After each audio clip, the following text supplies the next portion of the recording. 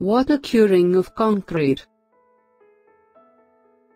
Water curing is the best method of curing as it fulfills all the requirements of curing, such as hydration of cement, elimination of shrinkage and absorption of the heat of hydration. Water curing is generally done in different ways, such as immersion, ponding, spraying or fogging, and wet covering. The type of water curing is adopted based on the requirements of concrete.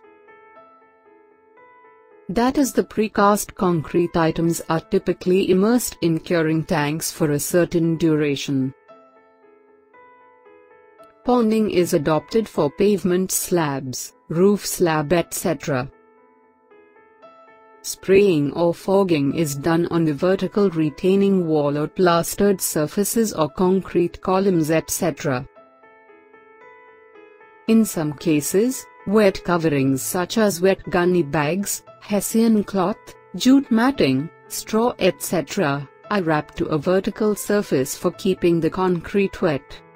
Apart from these, for horizontal surfaces sawdust, Earth or sand are also used as a wet covering to keep the concrete in wet condition for a longer time so that the concrete is not unduly dried to prevent hydration. These are all the methods adopted for water curing. Thank you for watching, stay tuned. The best is yet to come. Kindly do like, share, comment your views and finally don't forget to subscribe our channel.